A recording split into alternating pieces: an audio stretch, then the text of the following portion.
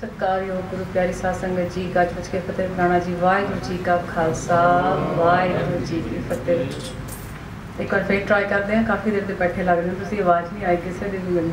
ਇੱਕ ਵਾਰ ਫੇਰ ਟਰਾਈ ਕਰਦੇ ਹਾਂ। ਵਾਹਿਗੁਰੂ ਜੀ ਕਾ ਖਾਲਸਾ, ਵਾਹਿਗੁਰੂ ਜੀ ਕੀ ਫਤਿਹ। ਬਹੁਤ ਬਹੁਤ ਧੰਨਵਾਦ ਜੀ। ਜਿੰਨੀ ਕੁ ਸੰਗਤ ਹੈਗੀ ਆ, ਆਪ ਜੀ ਦੇ ਚਰਨਾਂ 'ਚ ਬੇਨਤੀ ਹੈ, ਆਪਣੇ ਕੋਲ ਅੱਧਾ ਘੰਟਾ ਹੈਗਾ ਸਿਰਫ। ਜੇ ਤੁਸੀਂ ਕੋਲ ਕੋਲ ਆ ਜਾਓ, ਤੇ ਅਸੀਂ ਵਿਚਾਰ ਥੋੜੀ ਹੋਰ ਇੰਟਰੈਕਟਿਵ ਬਣਾ ਸਕਦੇ ਹਾਂ। ਕਿਉਂਕਿ ਇਹ ਇਹ ਜਿਹੜਾ ਅੱਧਾ ਘੰਟਾ ਹੈਗਾ ਇਹ ਇੰਟਰੈਕਸ਼ਨ ਹੀ ਹੋਣੀ ਹੈ। ਤੇ ਅਸੀਂ ਇੱਕ ਦੂਸਰੇ ਨਾਲ ਗੱਲ ਕਰਕੇ ਵਿਚਾਰ ਕਰ ਸਕੀਏ। ਥੋੜਾ ਤੁਸੀਂ ਅੱਗੇ ਅੱਗੇ ਆ ਜਾਓ ਥੋੜੇ ਸਾਵਧਾਨ ਹੋ ਕੇ ਬੈਠ ਜਾਓ ਲੰਬਾ ਸਮਾਂ ਨਹੀਂ ਹੈਗਾ। ਤੇ ਤੁਹਾਡੇ ਚੈਨਲ 'ਚ ਬੇਨਤੀ ਹੈ ਕਿ ਬੀਬੀਆਂ ਵੀ ਅੱਗੇ ਤੱਕ ਕਾਫੀ ਜਣੇ ਟੋਲ ਲਗਾ ਕੇ ਬੈਠੇ ਫਿਰ ਆਲਸ ਵੀ ਆ ਜਾਂਦਾ ਤੇ ਤੁਹਾਡਾ ਧਿਆਨ ਵੀ ਇੱਧਰ ਉੱਧਰ ਹੋ ਜਾਂਦਾ ਤੁਸੀਂ ਬੜੇ ਵਿਦਵਾਨਾਂ ਕੋਲੋਂ ਵਿਚਾਰ ਸੁਣੇ ਹਨ ਤੇ ਇਹ ਵੀ ਤੁਸੀਂ ਆਪਣੀ ਅਟੈਂਸ਼ਨ ਦੇਣਾ ਬਸ। ਇੰਨੀ ਕੁ ਚੀਜ਼ ਦੀ ਹੀ ਮੰਗ ਹੈ ਤੁਹਾਡੇ ਕੋਲ ਕਿ ਪੂਰੀ ਆਪਣੀ ਅਟੈਂਸ਼ਨ ਪੂਰਾ ਆਪਣਾ ਫੋਕਸ ਜਿਹੜਾ ਅੱਜ ਦਾ ਸਬਜੈਕਟ ਹੈਗਾ ਉਹ ਦਿੱਤਾ ਗਿਆ ਗੁਰਸਿੱਖੀ ਜੀਵਨ। ਮੈਂ ਤੁਹਾਨੂੰ ਕੁਝ ਸਵਾਲ ਪੁੱਛਾਂਗੀ ਤਾਂ ਕਿ ਅਸੀਂ ਸਾਵਧਾਨ ਹੋ ਕੇ ਬੈਠ ਸਕੀਏ ਔਰ ਸੋਚ ਵੀ ਸਕੀਏ ਕਿ ਅਸੀਂ ਵਿਚਾਰ ਕਿਸ ਬਾਰੇ ਕਰ ਰਹੇ ਹਾਂ। ਤੇ ਤੁਸੀਂ ਉਹਦਾ ਮੈਨੂੰ ਹੱਥ ਖੜਾ ਕਰਕੇ ਜਵਾਬ ਦੇਣਾ ਹੈ। ਕੋਈ ਇਸ ਗੱਲ ਦੀ ਚਿੰਤਾ ਨਹੀਂ ਕਰਨੀ ਕਿ ਸਾਨੂੰ ਪਤਾ ਨਹੀਂ ਹੈਗਾ ਜਾਂ ਗਲਤ ਹੋ ਜਾਏਗਾ ਜਾਂ ਕੋਈ ਕੀ ਸੋਚੇਗਾ। ਅਸੀਂ ਸਾਰੇ ਇੱਥੇ ਗੁਰੂ ਸਾਹਿਬ ਦੇ ਚਰਨਾਂ 'ਚ ਸਿੱਖਣ ਆਏ ਆ ਬਸ ਸਿੱਖਣ ਹੀ ਆਏ ਆ ਜੇ ਅਸੀਂ ਸਿੱਖ ਕੇ ਕੁਝ ਕਰ ਲੈ ਜਾਵਾਂਗੇ ਤੇ ਆਇਆ ਸਫਲਾ ਹੋ ਜਾਵੇਗਾ। ਮੇਰਾ ਪਹਿਲਾ ਸਵਾਲ ਸਾਰੀ ਸੰਗਤ ਨੂੰ, ਜੀਵਨ ਕੀ ਹੈ? ਤੁਹਾਡੇ ਮੁਤਾਬਕ, ਤੁਹਾਡੀ ਸੋਚ ਦੇ ਮੁਤਾਬਕ ਅਸੀਂ ਜੀਵਨ ਕਿਸ ਨੂੰ ਆਖਦੇ ਹਾਂ? ਔਰ ਕਿੰਨਾ ਕੁ ਸਾਡੇ ਲਈ ਇਹ ਚੀਜ਼ ਇੰਪੋਰਟੈਂਸ ਰੱਖਦੀ ਹੈ? ਹੱਥ ਖੜਾ ਕਰਕੇ ਮੈਨੂੰ ਦੱਸੋ ਕਿ ਤੁਹਾਡੇ ਮੁਤਾਬਕ ਇਹਦਾ ਮਤਲਬ ਕੀ ਹੈਗਾ? ਫਿਕਰ ਨਹੀਂ ਕਰਨੀ ਕਿ ਕੋਈ ਗਲਤ ਹੋ ਜਾਏਗਾ। ਇੱਥੇ ਕੋਈ ਟੈਸਟ ਨਹੀਂ ਹੋ ਰਿਹਾ। ਸਿਰਫ ਅਸੀਂ ਹੁਣ ਮੈਂ ਜਦੋਂ ਤੁਹਾਨੂੰ ਪੁੱਛਿਆ ਤੇ ਤੁਸੀਂ ਸੋਚਣ ਤੇ ਮਜਬੂਰ ਹੋਵੋਗੇ ਨਹੀਂ ਤੇ ਮੈਂ ਬੋਲ ਕੇ ਚਲਾ ਜਾਣਾ ਘਰ। ਤੁਸੀਂ ਉੱਥੇ ਸੁਣ ਲੈਣਾ ਹੈ। ਕਿਹੜਾ ਮੈਸੇਜ ਕਰ ਗਿਆ ਪਤਾ ਨਹੀਂ ਕੁਛ। ਇਸ ਕਰਕੇ ਮੈਂ ਤੁਹਾਨੂੰ ਪੁੱਛ ਰਹੀ। ਹਾਂ ਤੁਹਾਡੇ ਮੁਤਾਬਕ ਜੀਵਨ ਦਾ ਕੀ ਮਤਲਬ ਹੈ? ਤੁਸੀਂ ਦੱਸੋ। ਕੋਈ ਵੀ ਦੱਸੇ। ਬੜੀ ਹੈਰਾਨੀ ਹੋਏਗੀ ਜੇ ਸਾਨੂੰ ਜੀਵਨ ਦਾ ਮਤਲਬ ਨਹੀਂ ਪਤਾ। ਜੀਵਨ ਕਰਕੇ ਤਾਂ ਸਾਰੇ ਪਾਪੜ ਵੇਲ ਰਹੇ ਹਨ। ਕੋਈ ਕਿਸ ਤਰ੍ਹਾਂ ਕੋਈ 24 24 ਘੰਟੇ ਕੰਮ ਕਰ ਰਿਹਾ ਹੈ। ਕਿਸੇ ਨੂੰ ਪਤਾ ਹੀ ਨਹੀਂ ਹੈਗਾ ਕਿ ਜੀਵਨ ਕੀ ਹੈ। ਤੇ ਕਾਫੀ ਹੈਰਾਨੀ ਹਾਲ ਤਾਂ ਮੈਂ ਅੱਗੇ ਤਾਂ ਕੁਝ ਪੁੱਛਿਆ ਹੀ ਨਹੀਂ, ਸਿੱਖੀ ਦੀ ਤੇ ਕੋਈ ਗੱਲ ਹੀ ਨਹੀਂ ਹੈ ਇਹਦੇ ਵਿੱਚ। ਸਿਰਫ ਇਹ ਪੁੱਛਿਆ, ਤੁਹਾਡੇ ਮੁਤਾਬਕ ਜੀਵਨ ਦੀ ਡੈਫੀਨੇਸ਼ਨ ਕੀ ਹੈ? ਜੀਵਨ ਕੀ ਚੀਜ਼ ਹੈ? ਇੱਕ ਇੱਕ ਮੌਕਾ ਤੁਹਾਨੂੰ ਹੋਰ ਦਿੰਦੇ ਆ ਮੈਂ ਤੁਹਾਨੂੰ ਜਵਾਬ ਨਹੀਂ ਦੇਣਾ ਇਸ ਚੀਜ਼ ਦਾ। ਤੁਸੀਂ ਹੀ ਦੱਸਣਾ ਮੈਨੂੰ। ਹੁਣ ਨਹੀਂ ਦੱਸੋਗੇ 10 ਮਿੰਟ ਬਾਅਦ ਦੱਸ ਦੋਗੇ। ਤੇ ਤੁਸੀਂ ਵਾਟ ਇਜ਼ ਲਾਈਫ ਜੀਵਨ ਕੀ ਹੈ? ਹਾਂਜੀ।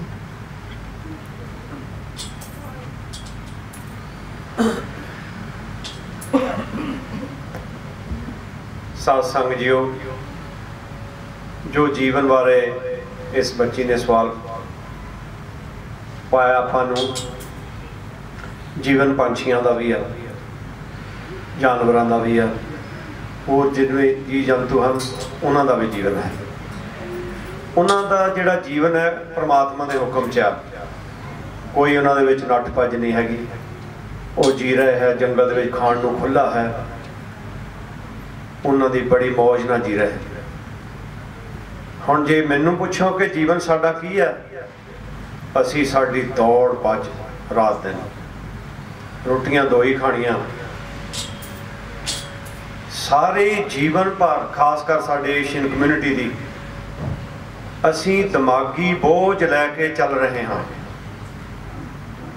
ਇੰਨਾ ਦਿਮਾਗੀ ਬੋਝ ਪਹਿਲਾਂ ਆਪਣੇ ਆਪ ਨੂੰ ਸੈੱਟ ਕਰਦੇ ਹਾਂ, ਭਾਣਾ ਭਰਾਵਾਂ ਨੂੰ ਸੈੱਟ ਕਰਦੇ ਹਾਂ ਗਾਹਾਂ ਉਹਨਾਂ ਦੇ ਨਿਆ- ਆਪਣੇ ਨਿਆਣਿਆਂ ਨੂੰ, ਨਿਆਣਿਆਂ ਦੇ ਗਾਹਾਂ ਨਿਆਣਿਆਂ ਦਾ ਫਿਕਰ ਹੈ ਸਾਨੂੰ ਇਹੀ ਹਨ ਮੈਂ ਇੱਕ ਮਿਸਾਲ ਦਿੰਦਾ, ਇੱਕ ਬੀਬੀ 에어ਪੋਰਟ ਤੇ ਕੰਮ ਕਰਦੀ ਸੀ। ਰਿਟਾਇਰ ਵੀ ਹੋ ਗਈ, ਹੱਲੇ ਵੀ ਸਫ਼ਾਈ ਕਰੀ ਜਾਂਦੀ ਸੀ। ਮੈਂ ਕਿਹਾ, ਮਾਤਾ, ਵੀ ਤੂੰ ਇਹ ਕੀ ਕਰ ਰਹੀ ਆ ਤੇਰੀ ਉਮਰ ਜਾ ਕੇ ਤੇ ਬੀਬੀਆਂ ਪ੍ਰਸ਼ਾਦੇ ਬਣਾਉਂਦੀਆਂ, ਕੋਈ ਸੇਵਾ ਕਰਦੀਆਂ। ਇਹ ਕੀ ਕਰ ਰਹੀ ਆ ਕਹਿੰਦੀ, ਮੇਰਾ ਇੱਕ ਦੋ ਕੰਮ ਰਹਿੰਦੇ ਹਲੇ। ਮੈਂ ਕਿਹਾ, ਕੀ ਮੇਰੀਆਂ ਆਖੇ ਦੋਤੀਆਂ ਇੰਡੀਆ ਵਿਆਹਣ ਵਾਲੀਆਂ ਰਹਿੰਦੀਆਂ? ਮੈਂ ਕਿਹਾ, ਤੈਨੂੰ ਕਾਹਦੇ ਫਿਕਰ ਕਰਨ ਦੀ ਲੋੜ ਆ? ਕਹਿੰਦੀ, ਕੀ ਕਰਾਂ, ਮੇਰਾ ਜਵਾਈ ਸ਼ਰਾਬ ਪੀਂਦਾ। ਮੇਰੀ ਜ਼ਿੰਮੇਵਾਰੀ ਬਣ ਗਈ ਹੈ। ਮੈਂ ਕਿਹਾ, ਤੂੰ ਛੱਡ ਪਰਾਂ, ਉਹਨੂੰ ਫਿਕਰ ਕਰਨ ਦੇ। ਕਹਿੰਦੀ, ਨਹੀਂ, ਮੋਹ ਹੈ, ਦੰਦਾ ਹਾਂ। ਹੋਇਆ ਕਿ, ਇੱਕ ਦਿਨ ਉੱਥੇ ਝਰਮਟ ਜਿਹਾ ਪੈ ਗਿਆ। ਮੈਂ ਵੀ ਉੱਥੇ ਸੀ ਡਿਊਟੀ ਤੇ ਤੇ ਮੈਨੂੰ ਆ ਕੇ ਕਹਿੰਦਾ ਕਹਿੰਦਾ ਕੋਈ ਇੱਕ ਲੇਡੀ ਡਿੱਗ ਪਈ ਥੱਲੇ। ਉਹ ਸਾਰੇ ਇਕੱਠੇ ਹੋਏ, ਮੈਂ ਵੀ ਦੌੜ ਕੇ ਗਿਆ, ਉਹੀ ਲੇਡੀ ਸੀ ਵਿਚਾਰੀ। ਉਹਨੂੰ ਸ਼ੂਗਰ ਦੀ ਬਿਮਾਰੀ ਸੀ ਤੇ ਇੱਧਰ ਉੱਧਰ ਹੋ ਕੇ ਟੀਕਾ ਲਾਉਂਦੀ ਹੁੰਦੀ ਸੀ ਆ ਸ਼ੂਗਰ ਦਾ। ਉਹ ਕਲੈਪਸ ਹੋ ਗਈ ਐਂਬੂਲੈਂਸ ਦੀ ਤੇ ਹਸਪੀਟਲ ਜਾ ਕੇ ਉਹਦੇ ਪ੍ਰਾਣ ਨਿਕਲ ਗਏ। ਆ ਸਾਡਾ ਜੀਵਨ ਆ। ਰਾਤ ਦਿਨ ਅਸੀਂ ਕੰਮਾਂ ਕਾਰਾਂ ਤੇ ਨੱਠ ਭੱਜ ਸਮਾਜਿਕ ਰਸਮੋ ਰਿਵਾਜ ਉਹਨਾਂ ਨੂੰ ਪੂਰਾ ਕਰਦਿਆਂ ਕਰਦਿਆਂ ਕਰਦਿਆਂ ਸਾਡਾ ਜੀਵਨ ਖਤਮ ਹੋ ਜਾਂਦਾ ਹੈ। ਅਸਲੀ ਜੀਵਨ ਕੀ ਹੈ? ਉਦਮ ਕਰਿੰਦਿਆਂ ਜਿਉ ਤੂੰ, ਕਮਾਵਦਿਆਂ ਸੁਖ ਪਹੁੰਚ ਤੇ ਆਇੰਦਿਆਂ ਤੂੰ ਪ੍ਰਭੂ ਮਿਲ, ਨਾਨਕ ਉਤਰੀ ਚਿੰਤ। ਤੂੰ ਕਿਰਤ ਕਰ, ਨਾਮ ਜਪ ਵੰਡ ਛਕ, ਔਰ ਨਾਮ ਸਿਮਰਨਾ ਵੀ ਜੁੜ। ਇਹ ਉਹਨਾਂ ਨੇ ਧੰਦੇ ਕਰਦਾ ਕਰਦਾ ਕਰਦਾ ਆਪਣਾ ਜੀਵਨ ਖਤਮ ਕਰ ਲਵੇ। ਸੋ ਇਹ ਮੇਰੇ ਹਿਸਾਬ ਨਾਲ ਤਾਂ ਸਾਡਾ ਜੀਵਨ ਇਹ ਆ, ਫਿਰ ਰਾਤ ਦਿਨ ਅਸੀਂ ਦੌੜੇ ਫਿਰਦੇ ਹਾਂ। ਬਾਕੀ ਹੁਣ ਇਹ ਬੱਚੀ ਦੱਸੇਗੀ ਭਈ ਗੁਰਬਾਣੀ ਦੇ ਮੁਤਾਬਕ ਜੀਵਨ ਕੀ ਹੋਣਾ ਚਾਹੀਦਾ ਔਰ ਕਿੱਦਾਂ ਚੱਲਣਾ। ਥੈਂਕ ਯੂ ਵੈਰੀ ਧੰਨਵਾਦ ਜੀ। ਕਾਫੀ ਲੰਬਾ ਜਵਾਬ ਹੋ ਗਿਆ। ਕਾਫੀ ਕੁਝ ਇਹਨਾਂ ਨੇ ਦੱਸ ਵੀ ਦਿੱਤਾ। ਮੇਰਾ ਮਕਸਦ ਇਹ ਸੀ ਪੁੱਛਣ ਦਾ ਕਿ ਤੁਹਾਡੇ ਹਿਸਾਬ ਨਾਲ ਜੀਵਨ ਕੀ ਇਹਨਾਂ ਨੇ ਕਾਫੀ ਤੁਹਾਨੂੰ ਐਲੈਬੋਰੇਟ ਕਰਤਾ ਵੀ ਹੈ ਕਿ ਅਸੀਂ ਕਰ ਕੀ ਰਹੇ ਹਾਂ। ਤੁਹਾਨੂੰ ਕੀ ਲੱਗਦਾ ਹੈ? ਜੀਵਨ ਉਨਾ ਚਿਰ ਹੀ ਹੈ ਜਿੰਨਾ ਚਿਰ ਜੀਵ ਹੈ, ਜਿੰਨਾ ਚਿਰ ਪ੍ਰਾਣ ਹਨ, ਠੀਕ ਹੈ? ਜਿੰਨਾ ਚਿਰ ਸੱਚ ਹੈ। ਸਮਨ ਇਜ਼ ਅਲਾਈਵ ਕਿਉਂਕਿ ਹੋ ਗਿਆ? ਜੀਵਨ ਹੋ ਗਿਆ। ਹਲੇ ਕਿ ਅਸੀਂ ਡੀਪ ਨਹੀਂ ਜਾ ਰਹੇ, ਹਲੇ ਅਸੀਂ ਸਿਰਫ ਸੁਪਰਫੀਸ਼ੀਅਲ ਜਿਹੜੀ ਲੈਵਲ ਹੈਗੇ ਉੱਤੇ ਉੱਤੇ ਤੇ ਅਸੀਂ ਗੱਲ ਕਰ ਰਹੇ ਹਾਂ। ਥੋੜਾ ਜਿਹਾ ਹੁਣ ਅਗਲਾ ਮੇਰਾ ਸਵਾਲ, ਕਿਉਂਕਿ ਅਸੀਂ ਗੱਲ ਕਰ ਰਹੇ ਹਾਂ ਗੁਰਸਿੱਖੀ ਜੀਵਨ ਤੇ। ਅਸੀਂ ਇੱਥੇ ਕੁਝ ਸਿੱਖਣ ਆਏ ਹਾਂ, ਗੁਰੂ ਸਾਹਿਬ ਕੋਲੋਂ ਮਤ ਲੈਣ ਆਏ ਹਾਂ। ਗੁਰਸਿੱਖੀ ਜੀਵਨ, ਮੈਂ ਨਹੀਂ ਤੁਹਾਨੂੰ ਪੁੱਛਣਾ ਕੀ ਹੈ, ਪਰ ਗੁਰਸਿੱਖੀ ਜੀਵਨ ਦਾ ਮਕਸਦ ਕੀ ਹੈ? ਵਾਟਸ ਦਾ ਪੁਆਇੰਟ ਕੀ ਫਾਇਦਾ ਹੈਗਾ? ਹੁਣ ਤੁਸੀਂ ਆਪਣੇ, ਅੱਜ ਸੰਡੇ ਹੈ, ਸਾਰੇ ਆਪਣੇ ਕੰਮਕਾਰ ਛੱਡ ਕੇ, ਆਪਣੀ ਫੈਮਿਲੀ ਟਾਈਮ ਛੱਡ ਕੇ, ਕਈਆਂ ਨੂੰ ਸਿਰਫ ਸੰਡੇ ਹੀ ਮਿਲਦਾ ਆਪਣੀ ਫੈਮਿਲੀ ਨਾਲ, ਠੀਕ ਹੈ ਨਾ? ਤੁਸੀਂ ਉਹ ਛੱਡ ਕੇ ਇੱਥੇ ਕਿਉਂ ਬੈਠੇ ਹੋ? ਇੱਥੇ ਕੀ ਮਿਲ ਰਿਹਾ ਤੁਹਾਨੂੰ? ਕਿਉਂ ਆਏ ਹੋ ਇੱਥੇ? ਇਹ ਮੇਰਾ ਸਵਾਲ ਹੈ ਤੁਹਾਨੂੰ, ਠੀਕ ਹੈ? ਇੱਕ ਕੋਈ very briefly within few seconds ਜੇ ਕੋਈ ਜਵਾਬ ਦੇ ਸਕਦਾ ਤਾਂ ਹੱਥ ਖੜਾ ਕਰੋ। ਵਾਈ ਯੂ ਹੇਅਰ ਹਾਂਜੀ ਭੈਣ ਜੀ। To get peace of mind. Okay she gets peace of mind ਇਹਨਾਂ ਨੂੰ ਇੱਥੇ ਆ ਕੇ ਮਨ ਦੀ ਸ਼ਾਂਤੀ ਮਿਲਦੀ ਹੈ ਠੀਕ ਹੈ ਹੋਰ ਕਿਸੇ ਦਾ ਕੋਈ point thank you for being brave ਹੋਰ ਕਿਸੇ ਦਾ ਕੋਈ ਪੁਆਇੰਟ ਤੁਸੀਂ ਇੱਥੇ ਕਿਉਂ ਆਏ ਹੋ? ਹਾਂਜੀ। ਸੰਗਤ ਕਰਨ? ਹਾਂਜੀ ਸੰਗਤ ਕਰਨ ਆਇਆ ਪਰ ਸੰਗਤ ਹੋਗੀ ਪਰ what do you want to get ਤੁਹਾਨੂੰ ਕੀ ਮਿਲਣਾ ਇੱਥੋਂ? ਜਿਹੜਾ ਕਿ ਤੁਸੀਂ ਆਪਣਾ ਦੇਖੋ ਬੱਚੇ ਨੇ ਤੁਹਾਡੇ ਨਾਲ ਤੁਸੀਂ ਉਹਨਾਂ ਨੂੰ ਤਿਆਰ ਕਰਕੇ ਟਰੈਵਲ ਕਰਕੇ ਇੱਥੇ ਆਏ ਹੋ ਸੰਗਤ ਕਰਨ ਆਏ ਹੋ। ਪਰ ਤੁਹਾਨੂੰ ਮਿਲਣਾ ਕੀ ਉਹਦੇ ਚੋਂ? You could have gone to park for example ਗੁਰੂ ਦੀ ਮੱਤ ਲੈ ਗੁਰੂ ਦੀ ਮੱਤ ਲੈਣ ਹਾਂਜੀ ਜੀਵਨ ਦੀ ਜਾਂਚ ਸਿੱਖਣ ਜੀਵਨ ਦੀ ਜਾਂਚ ਸਿੱਖਣ ਠੀਕ ਹੈ ਥੈਂਕ ਯੂ ਜੀਵਨ ਦੀ ਜਾਂਚ ਕਿਉਂ ਸਿੱਖਣੀ ਹੈ ਥੋੜਾ ਜਿਹਾ ਅੱਗੇ ਚੱਲਦੇ ਹਾਂ ਕਿਉਂਕਿ ਮੇਰਾ ਟਾਈਮ ਬਹੁਤ ਘੱਟ ਹੈ ਅੱਜ ਤੇ ਅਸੀਂ ਜ਼ਿਆਦਾ ਐਲੈਬੋਰੇਟ ਨਹੀਂ ਕਰ ਸਕਦੇ ਅੱਧੇ ਘੰਟੇ 'ਚ ਤੇ ਗੱਲ ਸ਼ੁਰੂ ਵੀ ਨਹੀਂ ਹੁੰਦੀ ਤੇ ਅਸੀਂ ਇਸ ਕਰਕੇ ਫਟਾਫਟ ਅੱਗੇ ਅੱਗੇ ਚੱਲਾਂਗੇ ਤੁਸੀਂ ਭੈਣ ਜੀ ਕੁਝ ਕਹਿਣਾ ਸੀ ਮੈਂ ਕਹਿਣਾ ਸੀ ਮੁਕਤੀ ਵਾਸਤੇ we all like ਜਨਮ ਮਰਨ ਤੋਂ ਮੁਕਤੀ ਠੀਕ ਹੈ ਇਹਨਾਂ ਨੇ ਕਿਹਾ, ਜੀਵਨ ਮਰਨ ਤੋਂ ਮੁਕਤ ਹੋਣਾ, ਤੁਸੀਂ ਕਿਹਾ, ਜੀਵਨ ਦੀ ਜਾਂਚ ਸਿੱਖਣੀ। ਹੁਣ ਮੇਰਾ ਆਖਰੀ ਸਵਾਲ, ਜੀਵਨ ਦੀ ਜਾਂਚ ਕਿਉਂ ਸਿੱਖਣੀ ਹੈ? ਕੀ ਕਰੋਗੇ ਸਿੱਖ ਕੇ? ਉਹ ਵੀ ਜਿਹੜੇ ਬਾਹਰ ਇਸ ਵੇਲੇ ਸੜਕ ਤੇ ਤੁਰ ਰਹੇ ਨੇ, ਪਰ ਅੰਦਰ ਨਹੀਂ ਆ ਪਾ ਰਹੇ। ਇਸ ਤਰ੍ਹਾਂ ਦੇ ਵੀ ਹੈ ਨੇ ਨਾ? ਉਹਨਾਂ ਦੇ ਵੀ ਸਿਰਾਂ ਤੇ ਦਸਤਾਰਾਂ ਨੇ। ਪਰ ਹੁਕਮ ਨਹੀਂ ਕਿ ਅੰਦਰ ਆ ਕੇ ਗੁਰੂ ਦੀ ਸ਼ਰਨ 'ਚ ਬੈਠ ਜਾਈਏ। They rather want to go somewhere else ਉਹ ਕਿਤੇ ਹੋਰ ਜਾਣਾ ਜਾ ਰਹੇ ਨੇ, ਜਿਵੇਂ ਵੀ ਹੈਗਾ। ਠੀਕ ਹੈ। ਤੁਸੀਂ ਦੱਸੋ, ਗੁਰੂ ਦੀ ਮੱਤ ਲੈ ਕੇ ਜੀਵਨ ਜਾਂਚ ਸਿੱਖ ਕੇ ਮਿਲਣ ਮਿਲਣ ਕੀ ਵਾਲਾ ਹੈ? ਕੀ ਹੋਣ ਲੱਗਾ? ਹਾਂਜੀ। ਮੁਕਤੀ। ਕਿਹਨੂੰ ਕਹਿੰਦੇ ਹੋ ਤੁਸੀਂ? What is mukti for you ਮਰ ਕੇ ਜਾਂ ਜੀ ਕੇ? ਜਿੰਦਿਆਂ ਹੀ। ਜੀਨੀਆ ਜੀ ਨੋ ਦੁੱਖ ਨੋ ਨਥਿੰਗ ਜਸਟ ਬਲਿਸ ਅੱਛਾ ਠੀਕ ਹੈ। ਇਹ ਕਹਿੰਦੇ ਵੀ ਜਿੰਦਿਆਂ ਹੀ ਮੁਕਤੀ ਹੋ ਜਾਵੇ। ਹੱਥ ਖੜਾ ਕਰੋ ਜਿਹੜੇ ਮੰਨਦੇ ਆ ਕਿ ਜਿੰਦਿਆਂ ਮੁਕਤੀ ਮਿਲ ਸਕਦੀ ਹੈ। ਚੰਗੀ ਤਰ੍ਹਾਂ ਹੱਥ ਖੜਾ ਕਰੋ। ਅੱਛਾ ਕੁਛ ਕੁ ਜਾਣੇ ਨੇ ਸਾਰੇ ਹਾਲ 'ਚ। ਬਾਕੀ ਕਹਿੰਦੇ ਨੇ ਕਿ ਮਰ ਕੇ ਮੁਕਤੀ ਹੋਏਗੀ। ਇੱਕ ਪਾਸੇ ਤਾਂ ਹੋਣਾ ਪਏਗਾ ਨਾ। ਇੱਕ ਵਿਊ ਪੁਆਇੰਟ ਹੋਣਾ ਜ਼ਰੂਰੀ ਹੈ। ਜਿਹਦੇ ਮਤਲਬ ਮਨ ਨੂੰ ਮਾਰ ਕੇ ਐਸੀ ਅਵਸਥਾ ਬਣ ਜਾਏ ਪਈ ਮੋਹ ਟੁੱਟ ਜਾਏ। ਜੀਵਨ ਮੁਕਤ।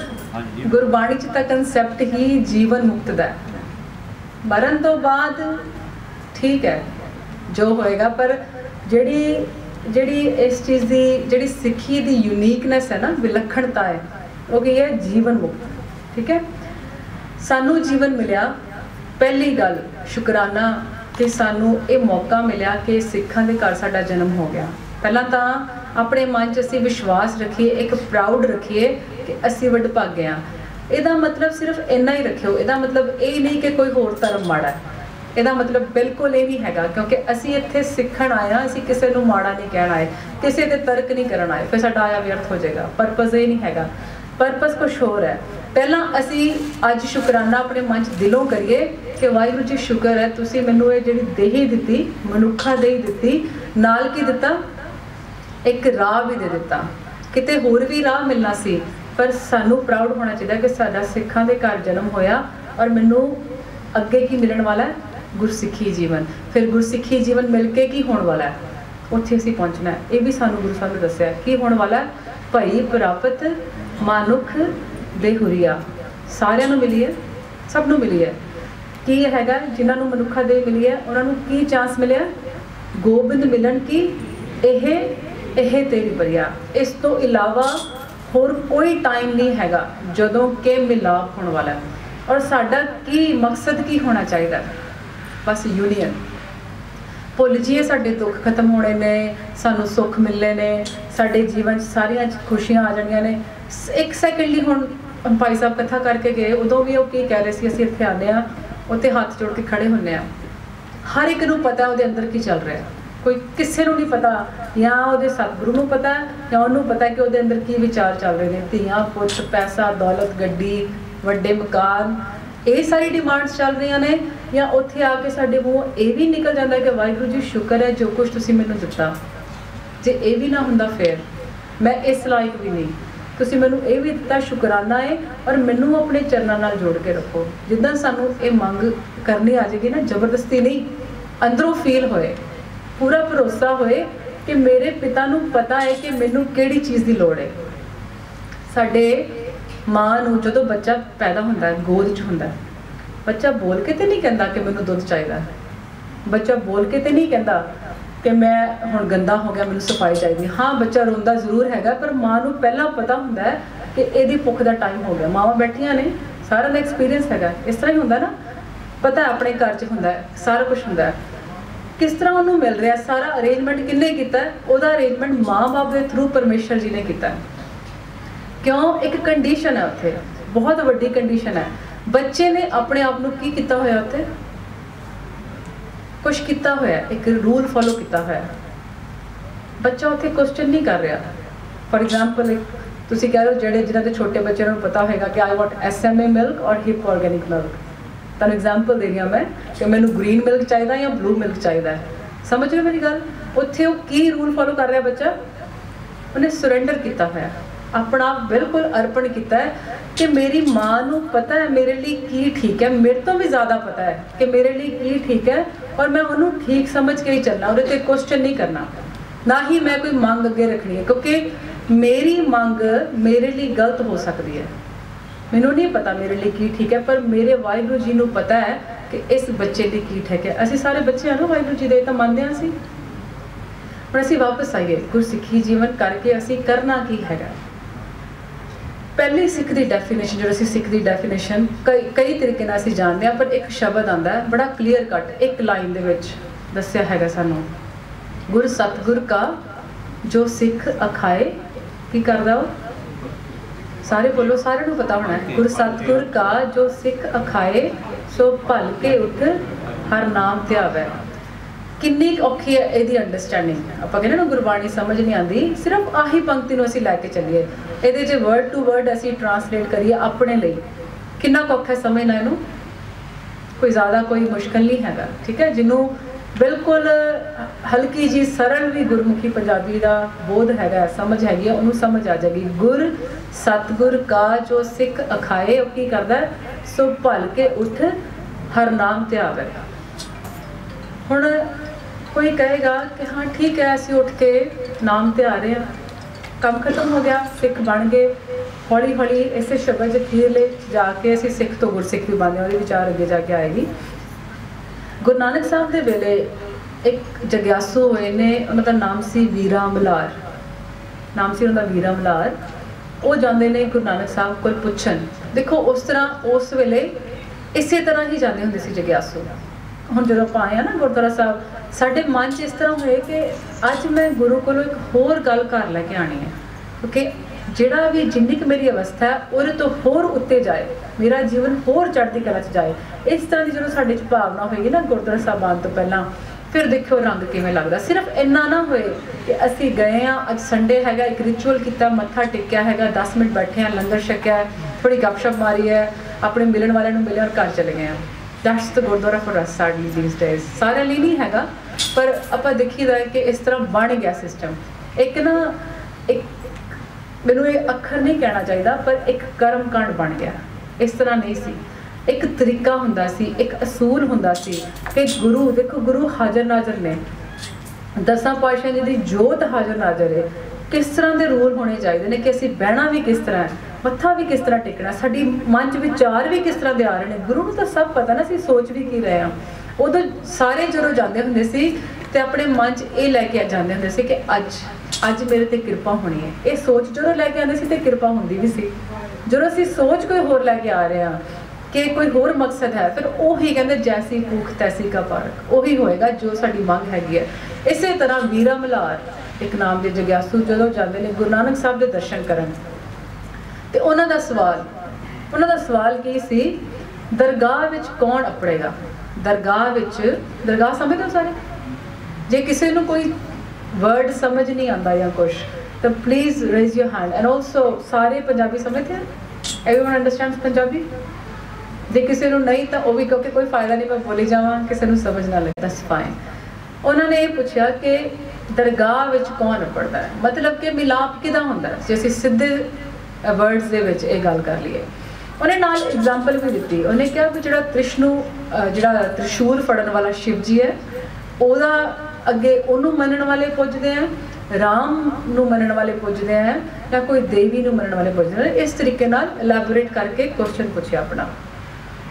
ਗੁਰੂ ਨਾਨਕ ਸਾਹਿਬ ਦਾ ਜਵਾਬ ਭਾਈ ਵੀਰ ਸਿੰਘ ਜੀ ਲਿਖਦੇ ਹਨ। ਕੀ ਲਿਖਦੇ ਨੇ? ਕਹਿੰਦੇ, ਉਹ ਪੰਜ ਜਨ ਧਿਆਨ ਨਾਲ ਸੁਣਨ ਵਾਲੀ ਗੱਲ ਹੈ। ਉਹ ਪੰਜ ਜਨ ਜਿਨ੍ਹਾਂ ਨੇ ਪੰਜਾਂ ਨੂੰ ਵਸਗਤ ਕਰ ਲਿਆ। ਠੀਕ ਹੈ? ਸਿਰਫ ਇੰਨੀ ਕੁ ਗੱਲ ਸਾਰਾ ਜਵਾਬ ਹੈਗਾ। ਉਹ ਪੰਜ ਜਨ ਜਿਨ੍ਹਾਂ ਨੇ ਪੰਜਾਂ ਨੂੰ, ਪੰਜ ਕੀ ਚੀਜ਼ ਹੈ? ਕਿਹੜੀ ਗੱਲ? ਹਾਂਜੀ, ਬਿਲਕੁਲ। ਪੰਜਾਂ ਨੂੰ ਵਸਗਤ ਕਰ ਲਿਆ, ਉਹ ਪਹੁੰਚਦੇ ਨੇ। ਹੁਣ ਇਸ ਆਨਸਰ 'ਚ ਦੇਖੋ ਬਿਊਟੀ ਕਿੰਨੀ ਹੈ, ਸੁੰਦਰਤਾ ਕਿੰਨੀ ਹੈ। ਇਹ ਨਹੀਂ ਕਿਹਾ ਹਿੰਦੂ ਪਹੁੰਚਦਾ ਹੈ। ਇਹ ਨਹੀਂ ਕਿਹਾ ਮੁਸਲਮਾਨ ਪਹੁੰਚਦਾ ਹੈ, ਇਹ ਨਹੀਂ ਕਿਹਾ ਸਿੱਖ ਪਹੁੰਚਦਾ ਹੈ। ਇੱਕ ਇਨਸਾਨ ਦੀ ਬਿਰਤੀ ਨੂੰ ਲੈ ਕੇ ਜਵਾਬ ਦਿੱਤਾ ਕਿ ਕਿਆ ਵਸਗਤ ਪੰਚ ਕਰੇ ਨਹੀਂ ਡੋਲੇ, ਉਹ ਪਹੁੰਚਦੇ ਨੇ। ਹੁਣ ਮੇਰਾ ਸਵਾਲ ਤੁਹਾਨੂੰ ਹੈਗਾ ਪੰਚ ਜਨ ਕੌਣ ਨੇ? ਤੁਹਾਡੇ ਹਿਸਾਬ ਨਾਲ ਪੰਚ ਜਨ ਕੌਣ ਨੇ? ਉਹ ਤਾਂ ਡੈਫੀਨੇਸ਼ਨ ਤਾਂ ਦੇ ਦਿੱਤੀ, ਜਿਨ੍ਹਾਂ ਨੇ ਪੰਜਾਂ ਨੂੰ ਵਸਗਤ ਕੀਤਾ ਹੈ। ਪਰ ਗੁਰਬਾਣੀ ਨੇ ਸਾਨੂੰ ਨਿਰਣਾ ਦਿੱਤਾ ਹੈ ਕਿ ਪੰਜ ਜਨ ਕੌਣ ਨੇ? ਅਸੀਂ ਜਪਜੀ ਸਾਹਿਬ 'ਚ ਰੋਜ਼ ਪੜ੍ਹਦੇ ਹਾਂ। ਜਪਜੀ ਸਾਹਿਬ ਦਾ ਪਾਠ ਤਾਂ ਹਰ ਸਿੱਖ ਨੂੰ ਹੁਕਮ ਹੈ ਨਾ, ਜੇ ਵੱਧ ਨਹੀਂ ਤਾਂ ਜਪਜੀ ਸਾਹਿਬ ਬਹੁਤ ਕੁਝ ਹੈ। ਜੇ ਜਪਜੀ ਪੜਨ ਵਾਲੇ ਨੂੰ ਪਤਾ ਹੋਏਗਾ ਕਿ ਪੰਜ ਜਨ ਕੌਣ ਨੇ। ਕਿਹੜੀ ਪੌੜੀ ਆਂਦੀ ਉਹਦੇ 'ਚ? ਸੋਚੋ, ਵਿਚਾਰੋ ਥੋੜਾ ਜਿਹਾ। ਪੰਜ ਪਰਵਾਨ, ਪੰਜ ਪ੍ਰਧਾਨ, ਠੀਕ ਹੈ। ਥੋੜਾ ਜਿਹਾ ਹੋਰ ਅੱਗੇ ਚੱਲੀਏ। ਉੱਥੇ ਇਸ ਪੌੜੀ 'ਚ ਐਕਸਪਲੇਨ ਨਹੀਂ ਕੀਤਾ ਕਿ ਪੰਜ ਜਨ ਕੌਣ ਨੇ। ਠੀਕ ਹੈ ਨਾ? ਇੱਥੇ ਇਹ ਦੱਸਿਆ ਕਿ ਉਹਨਾਂ ਨਾਲ ਹੁੰਦਾ ਕੀ ਹੈ? ਪੰਚ ਪਰਵਾਨ ਪੰਚ ਪ੍ਰਧਾਨ ਪੰਚੇ ਪਾਵੈ ਦਰਗਹਿ ਮਾਨ ਪੰਚੈ ਸੋਹੈ ਦਰ ਰਾਜਾਨ ਉਹਨਾਂ ਦੀ ਸਿਫਤ ਕੀਤੀ ਹੈ। ਉਹਨਾਂ ਨੂੰ ਪਿਆਰ ਦਿੱਤਾ ਗੁਰੂ ਨਾਨਕ ਸਾਹਿਬ ਨੇ। ਇਸ ਤੋਂ ਪਹਿਲਾਂ ਦੱਸ ਚੁੱਕੇ ਨੇ ਵੀ ਪੰਜ ਜਨ ਹੈ ਕੌਣ ਨੇ? ਉਹ ਕਿਦਾਂ ਦੱਸਿਆ? ਕੌਣ ਨੇ ਪੰਜ ਜਨ? ਥੋੜਾ ਇਹ ਵੀ ਸੋਚੋ। ਜੇ ਕਿਸੇ ਨੂੰ ਹੈ ਇਸ ਚੀਜ਼ ਦੀ ਰਿਅਲਾਈਜੇਸ਼ਨ ਤਾਂ ਦੱਸੋ। ਕੌਣ ਹੈ ਪੰਜ ਜਨ ਇੱਥੇ? ਅੱਛਾ, ਚਲੋ ਹੈਲਪ ਥੋੜਾ ਜਿਹਾ ਪਿੱਛੇ ਚਲੀਏ। ਇਸ ਤੋਂ ਪਹਿਲਾਂ ਕਿਹੜੀਆਂ ਪੌੜੀਆਂ ਆਉਂਦੀਆਂ ਨੇ? ਪੰਜ ਤੋਂ ਪਹਿਲਾਂ। ਮੰਨੇ ਦੀਆਂ ਆਉਂਦੀਆਂ ਨੇ। ਦੱਸਦੇ ਨੇ ਨਾ, ਮੰਨੇ ਦੀ ਅਵਸਥਾ ਕੀ ਹੈਗੀ ਹੈ? ਜਿਹੜਾ ਮੰਨ ਲਿਆ, ਜਿਨੇ ਗੁਰੂ ਦੀ ਗੱਲ ਮੰਨ ਲਈ, ਉਹਦੀ, ਉਹ ਕਿਸ ਤਰ੍ਹਾਂ ਦਾ ਇਨਸਾਨ ਹੈ? ਕਿਹੜੀ ਅਵਸਥਾ ਦਾ ਧਾਰਨੀ ਹੈ? ਅੱਛਾ ਥੋੜਾ ਹੋਰ ਅੱਗੇ ਚੱਲੋ। ਮੰਨੇ ਤੋਂ ਪਹਿਲਾਂ ਕਿਹੜੀਆਂ ਆਉਂਦੀਆਂ ਨੇ? ਸੁਣਿਆ ਗਿਆ। ਬਿਊਟੀਫੁਲ ਹੁਣ ਉਹਦੇ 'ਚ ਕੀ ਦੱਸਿਆ ਕਿ ਜਿਨੇ ਸੁਣ ਲਿਆ, ਉਹਦੀ ਅਵਸਥਾ ਕੀ ਹੈ? ਹੁਣ ਜਵਾਬ ਕੀ ਹੈਗਾ? ਹੁਣ ਤੁਹਾਨੂੰ ਜਵਾਬ ਮਿਲ ਗਿਆ ਹੋਵੇਗਾ ਪੰਜ ਜਨ ਕੌਣ ਨੇ? ਪੰਜ ਜਨ ਕੌਣ ਨੇ? ਜਿਨ੍ਹਾਂ ਨੇ ਪਹਿਲਾਂ ਸੁਣਿਆ, ਜਿਨ੍ਹਾਂ ਨੂੰ ਪਹਿਲਾਂ ਸੁਣਨਾ ਆ ਗਿਆ, ਔਰ ਫਿਰ ਉਹਨਾਂ ਨੇ ਕੀ ਕੀਤਾ? ਪਹਿਲਾਂ ਸੀ ਗੱਲ ਸੁਣੀ ਦੀ ਹੈ ਨਾ ਕਿਸੇ ਦੀ, ਹੁਣ ਮਾਪੇ ਵੀ ਸਾਨੂੰ ਕੋਈ ਗੱਲ ਕਹਿੰਦੇ ਨੇ ਬੱਚਿਆਂ ਨੂੰ go and get some water ਪਾਣੀ ਦਾ ਗਲਾਸ ਲੈ ਕੇ ਆਓ। ਪਹਿਲੀ ਕੀ ਗੱਲ ਹੋਈ ਉੱਥੇ? ਪਹਿਲਾ ਸਟੈਪ ਕੀ ਸੀ? ਸੁਣਿਆ। ਜਿਹੜੇ ਬੱਚੇ ਨੇ ਸੁਣਿਆ ਨਹੀਂ, ਉਹ ਮੰਨੇਗਾ ਕਦੀ ਵੀ ਨਹੀਂ। ਹੋ ਹੀ ਨਹੀਂ ਸਕਦਾ, ਕਿਉਂਕਿ ਉਹਨੇ ਇਗਨੋਰ ਹੀ ਕਰਤੀ ਉਹ ਗੱਲ। ਹੁੰਦਾ ਨਾ ਆਪਣੇ ਘਰਾਂ 'ਚ ਵੀ ਇਸ ਤਰ੍ਹਾਂ ਹੁੰਦਾ, ਬੱਚੇ ਨੂੰ ਤਿੰਨ ਵਾਰੀ ਕਹਿਣੀ ਪੈਂਦੀ, ਚਾਰ ਵਾਰ ਗੱਲ ਕਹਿਣੀ ਪੈਂਦੀ ਹੈ। ਫਿਰ ਜਦੋਂ ਉਹਨੂੰ ਸੁਣ ਜਾਂਦਾ ਕਿਤੇ ਬਾਰ-ਬਾਰ ਕਹਿ ਕੇ ਕਦੀ ਉਹਦੀ ਅਸੀਂ ਸ਼ਾਊਟ ਵੀ ਕਰਦੇ ਹਾਂ। ਫਿਰ ਉਹ ਸ਼ਾਇਦ ਮੰਨ ਲਵੇ। ਇਸ ਤਰ੍ਹਾਂ ਹੁੰਦਾ ਹੈ। ਔਰ ਸਾਨੂੰ ਸਮਝਾਇਆ ਕਿ ਦੇਖੋ ਕਿੰਨਾ ਪਿਆਰ ਨਾਲ ਗੁਰੂ ਨਾਨਕ ਸਾਹਿਬ ਨੇ ਸਾਨੂੰ ਸਟੈਪ ਬਾਈ ਸਟੈਪ ਸਮਝਾਇਆ। ਪਹਿਲਾਂ ਕੀ ਸਮਝਾਇਆ? ਸੁਣਨਾ ਕਿੱਦਾਂ ਹੈ? ਗੁਰੂ ਦੀ ਗੱਲ ਕਿੱਦਾਂ ਸੁਣੀ? ਫਿਰ ਸੁਣ ਕੇ ਕੀ ਹੁੰਦਾ ਹੈ? ਕੀ ਬਣ ਜਾਂਦੇ ਸੀ? ਸੁਣਿਆ ਸਿੱਧ ਪੀਰ ਸੁਰਨਾਥ। ਅਸੀਂ ਤਾਂ ਉੱਥੇ ਹੀ ਬੈਠੇ ਹਾਂ ਹਲੇ ਤੱਕ। ਇਹ ਇਹ ਸੈਲਫ ਰਿਫਲੈਕਸ਼ਨ ਹੈ ਇੱਥੇ। ਕਿ ਅਸੀਂ ਸੁਣਿਆ? ਜੇ ਅਸੀਂ ਸੁਣਿਆ ਹੁੰਦਾ, ਅਸੀਂ ਸਿੱਧ ਪੀਰ ਸੁਰਨਾਥ ਦੀ ਅਵਸਥਾ ਤੇ ਪਹੁੰਚੇ ਹੋਣਾ ਸੀ। ਜੇ ਨਹੀਂ ਪਹੁੰਚੇ, ਇਹਦਾ ਮਤਲਬ ਸੁਣਿਆ ਨਹੀਂ। ਇਹ ਤਾਂ ਸਾਫ਼ ਜੀ ਗੱਲ ਹੈ ਦਿਸ ਇਜ਼ ਅ ਫੈਕਟ ਨਿਰਣਾ ਹੋ ਗਿਆ। ਫਿਰ ਅੱਗੇ ਕੀ ਆਇਆ? ਮੈਂ ਸਕਿਪ ਕਰ ਰਹੀ ਹਾਂ ਸਾਰਾ, ਕਿਉਂਕਿ ਬੜੇ ਟਾਈਮ ਦੇ ਵਿੱਚ ਜਾਣਾ ਹੈਗਾ। ਅੱਗੇ ਕੀ ਆਇਆ? ਮੰਨਣ ਦੀ ਗੱਲ ਹੋ ਗਈ। ਜਿਨੇ ਉਹ ਸਾਰਾ ਕੁਝ ਸੁਣ ਕੇ ਆਪਣੇ ਜੀਵਨ 'ਚ ਢਾਲ ਕੇ ਮੰਨ ਲਿਆ। ਮੰਨ ਕੇ ਕੀ ਕਰਦੇ ਹਾਂ ਅਸੀਂ? ਵੀ ਐਕਟ ਔਨ ਇਟ ਅਸੀਂ ਐਕਸ਼ਨ ਲੈਂਦੇ ਹਾਂ। ਫਿਰ ਉਹ ਕੌਣ ਬਣ ਗਿਆ? ਜਿਨੇ ਸੁਣ ਕੇ ਮੰਨ ਲਿਆ, ਉਹ ਕੌਣ ਬਣ ਗਿਆ? ਪੰਜ ਜਨ ਉਹ ਫਿਰ ਜਿਹੜੇ ਪੰਜ ਜਨ ਬਣੇ, ਉਹ ਕੀ ਹੋਏ? ਪਰਵਾਨ। ਕੋਈ ਇੱਥੇ ਪੰਜ ਜਨ ਹੈ? ਜਾਂ ਹੋ ਸਕਦਾ? ਜ਼ਰੂਰ ਹੋ ਸਕਦਾ। ਅਸੀਂ ਵਿਸ਼ਵਾਸ ਰੱਖੀਏ, ਸਾਨੂੰ ਇੰਨਾ ਵੱਡਾ ਖਜ਼ਾਨਾ ਸਾਡੇ ਗੁਰੂ ਨੇ ਸਾਡੇ ਤੇ ਕਿਰਪਾ ਕਰਕੇ ਦਿੱਤੀ ਹੈ। ਥੋੜਾ ਜਿਹਾ ਅਸੀਂ ਇੱਕ ਕਦਮ ਆਪਣੇ ਪਿਆਰੇ ਗੁਰੂ ਵੱਲ ਲੈ ਕੇ ਜਾਣਾ ਹੈ।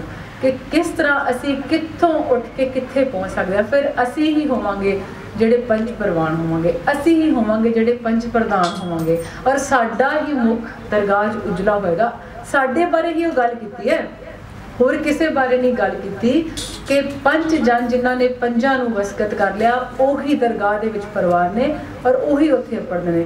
ਫਿਰ ਉੱਥੇ ਸਰਲ ਵੀ ਕੀਤਾ। ਇਸੇ ਸਾਖੀ ਦੇ ਵਿੱਚ ਅਖੀਰ ਗੁਰੂ ਨਾਨਕ ਸਾਹਿਬ ਕਹਿੰਦੇ ਨੇ ਸੰਗਤ ਵਿੱਚ ਜਾ ਕੇ ਨਾਮ ਜਪ ਕੇ, ਸੰਗਤ ਵਿੱਚ ਜਾ ਕੇ ਨਾਮ ਜਪ ਕੇ। ਇਸ ਚੀਜ਼ ਨੂੰ ਮੈਂ ਤਾਂ ਇੱਥੇ ਦੱਸਿਆ ਕਿਉਂਕਿ ਇਹ ਲਿੰਕ ਹੁੰਦਾ ਹੈ, ਗੁਰ ਸਤਿਗੁਰ ਕਾ ਜੋ ਸਿੱਖ ਅਖਾਏ, ਸੋ ਭਲ ਕੇ ਉੱਠ ਹਰ ਨਾਮ ਤੇ ਆਵੇ। ਕਿਉਂਕਿ ਨਾਮ ਧਿਆਨ ਦੀ ਗੱਲ ਚੱਲ ਰਹੀ ਹੈ ਨਾ, ਵੀ ਨਾਮ ਕਿਸ ਤਰ੍ਹਾਂ ਧਿਆਣਾ ਹੁਣ ਮੇਰਾ ਅਗਲਾ ਸਵਾਲ ਇਹ ਹੈਗਾ ਕਿ ਨਾਮ ਧਿਆਣਾ ਸਵੇਰੇ ਉੱਠ ਕੇ ਭਲ ਕੇ ਦਾ ਮਤਲਬ ਕੀ ਹੈ? ਅਰਲੀ ਮਾਰਨਿੰਗ ਠੀਕ ਹੈ ਨਾ? ਅੰਮ੍ਰਿਤ ਵੇਲੇ ਜਿੱਦਾਂ ਆਪਾਂ ਕਹਿ ਦਿੰਦੇ ਆ ਇਹ ਹੁਕਮ ਹੈ ਸਾਨੂੰ। ਅਸੀਂ ਇਹ ਤੋਂ ਇਸ ਮੈਂਡੇਟਰੀ ਹੈ, ਜ਼ਰੂਰੀ ਹੈ, ਅਸੀਂ ਇਹ ਤੋਂ ਮੁੜ ਨਹੀਂ ਸਕਦੇ। ਭਾਵੇਂ ਕੋਈ ਅੰਮ੍ਰਿਤਧਾਰੀ ਹੈ, ਭਾਵੇਂ ਨਹੀਂ ਹੈ, ਜੇ ਗੁਰੂ ਨਾਲ ਪਿਆਰ ਹੈ ਤਾਂ ਅੰਮ੍ਰਿਤ ਵੇਲਾ ਸੱਚ ਨਾਉ ਵਡਿਆਈ ਵਿਚਾਰ ਦਾ ਹੁਕਮ ਹੈ। ਅਸੀਂ ਮੰਨ ਰਹੇ ਹਾਂ, ਨਹੀਂ ਮੰਨ ਰਹੇ, ਸਾਨੂੰ ਪਤਾ ਹੈਗਾ, ਅਸੀਂ ਕਿਸ ਕਿਸ ਲੈਵਲ ਤੇ ਹਾਂ। ਮੇਰਾ ਸਵਾਲ ਇਹ ਸੀ, ਕਿੰਨਾ ਕੁ ਸੌਖਾ ਲੱਗਦਾ ਹੈ ਜਿਨ੍ਹਾਂ ਨੇ ਟਰਾਈ ਕੀਤਾ? ਤੁਹਾਡੇ ਚੋਂ ਕਈਆਂ ਨੇ ਟਰਾਈ ਕੀਤਾ ਹੋਵੇਗਾ ਆਮ ਸ਼ੋਰ ਕਈ ਕਰਦੇ ਵੀ ਹੋਣਗੇ ਰੈਗੂਲਰਲੀ ਗੁਰੂ ਦੀ ਕਿਰਪਾ ਹੈਗੀ ਹੈ। ਕਿੰਨਾ ਕੁ ਸੌਖਾ ਲੱਗਦਾ ਹੈ? ਸੌਖਾ ਲੱਗਣ ਵਾਲੇ ਹੱਥ ਖੜਾ ਕਰੋ। ਵੀ ਇਟਸ ਨੈਚੁਰਲ ਇਟਸ ਈਜ਼ੀ ਸਾਰੇ ਦਰਬਾਰ 'ਚ ਇੱਕ ਹੱਥ ਖੜਾ ਕਰਾ ਹੋਇਆ। ਅੱਛਾ, ਹੁਣ ਦੂਜੇ ਪਾਸੇ ਕਿੰਨਾ ਕੁ ਔਖਾ ਲੱਗਦਾ ਜਾਂ ਚੈਲੰਜਿੰਗ ਲੱਗਦਾ ਇਦਾਂ ਕਹਿ ਲਓ। ਆਪਾਂ ਗੁਰੂ ਦੇ ਦਰਬਾਰ 'ਚ ਬੈਠੇ ਨਾ, ਇੱਥੇ ਸਾਨੂੰ ਓਨੈਸਟ ਹੋਣਾ ਪਏਗਾ।